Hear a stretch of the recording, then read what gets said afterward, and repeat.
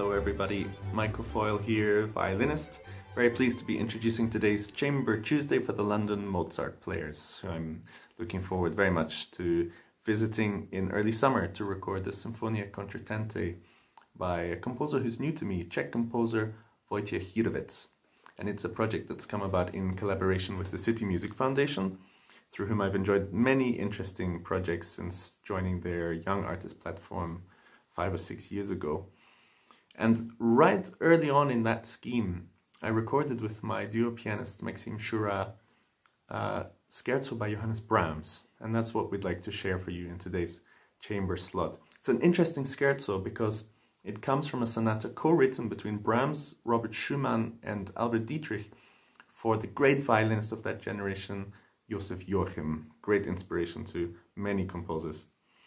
And the scherzo carries as its subtitle Josef Joachim's own life motto that he adopted for himself Frei aber einsam, free but alone, which seems not inappropriate and slightly poignant for the times in which we find ourselves now.